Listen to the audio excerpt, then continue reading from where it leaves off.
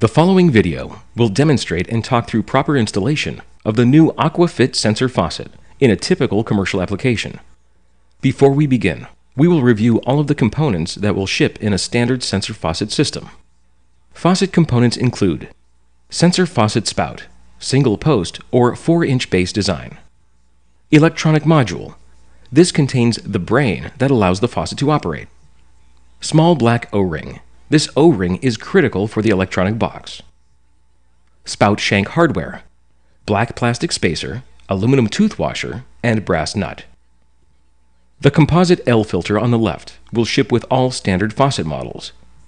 The composite mixing valve adapter on the right will ship with any faucet that is ordered with a mixing valve option or accessory.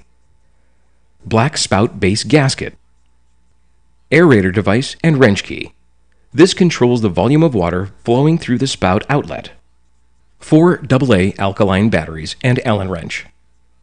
4 or 8 inch cover plates are used for single post spout models only. The integral 4 inch spout base model does not require cover plates.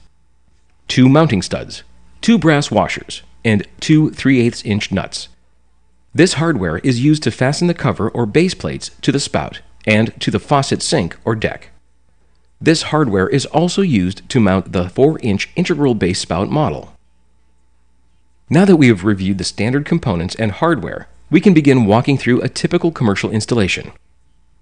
Here are some of the recommended tools for installation. Zurn faucet wrench that adapts to the spout shank nut and or the cover plate mounting stud nuts. Other wrenches that fit 1-inch size nuts will also work. Needle nose pliers, socket wrench with hex adapters, Phillips head screwdriver for cover plate application only. Step 1. In existing or retrofit applications, it is very important to first shut off water inlet supply stops that are located beneath the sink and control the hot and or cold water distribution. Test to make sure the water is completely cut off to the existing faucet by activating or operating. If no water flows from the spout, you are safe to proceed. Step 2. Next, you'll want to prep your AquaFit faucet for installation by installing the aerator.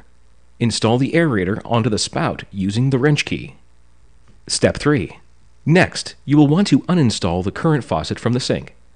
Place a bin under the piping to catch any dripping water. Step 4. Once the existing faucet is removed, ensure the sink is clean and free of debris where the old faucet base once rested. Step 5.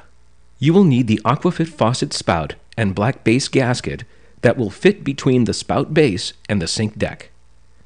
Place the spout shank through the center hole of the sink gently so it rests at an angle. In cover plate applications, you will want to assemble the 4 or 8 inch cover plate to the spout prior to step 4. The Phillips head screwdriver will allow you to attach the cover plate to the spout base. Step 6. Next, you will need to install the spout mounting hardware to the spout shank in this order black plastic spacer, aluminum tooth washer, and the brass nut. While lying under the sink, ensure the black cable from the spout rests in the gap designed in the black plastic spacer. You should be able to swivel the nut up the shank with your hand most of the way. Once the spout hardware is hand tight, check the spout above to make sure the gasket and spout are lined up. You'll then want to use either the Zurn faucet wrench or the socket with hex adapter to ensure the spout shank nut has a snug quarter turn fit, being careful not to over tighten. In cover plate or 4 inch spout base applications, you will want to use the two studs, two washers, and two mounting nuts to install the spout mounting hardware to the spout shank. You may find it easiest to start with swiveling the washer and nut onto the studs, and then while lying under the faucet, fasten the studs to the underside of the spout base or cover plates in a similar fashion to the center spout shank installation, you will want to use the socket wrench with hex adapter to tighten so it is a similar snug fit. Step 7.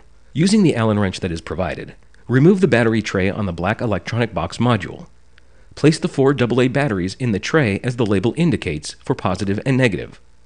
You will note the battery tray has a D-shaped design that will fit snugly back into the electronic box.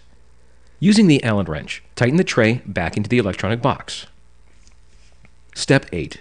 Assemble the black electronic box directly to the spout shank that hangs below the sink deck. It is very important that the small black O-ring is placed in the black box hex nut adapter before assembling the electronics to the shank. This will be critical in preventing leaks.